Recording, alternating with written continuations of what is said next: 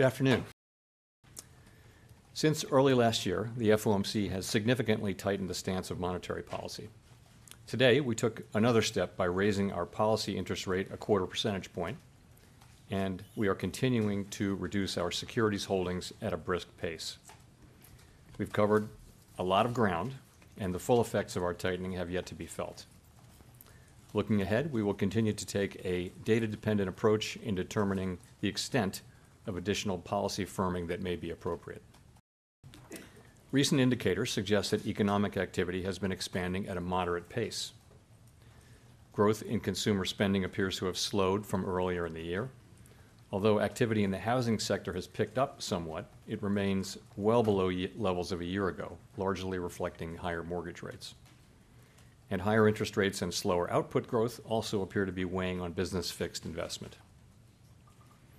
The labor market remains very tight.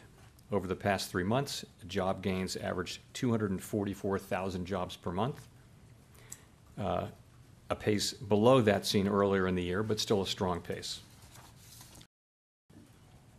Inflation remains well above our longer-run goal of 2%.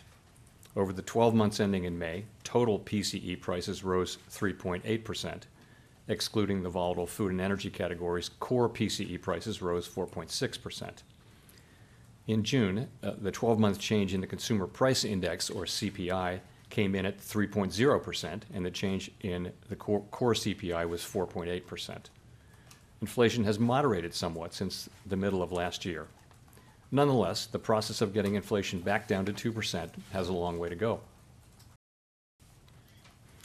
At today's meeting, the committee raised the target range for the federal funds rate by a quarter percentage point, bringing the target range to 5.25%-5.5%.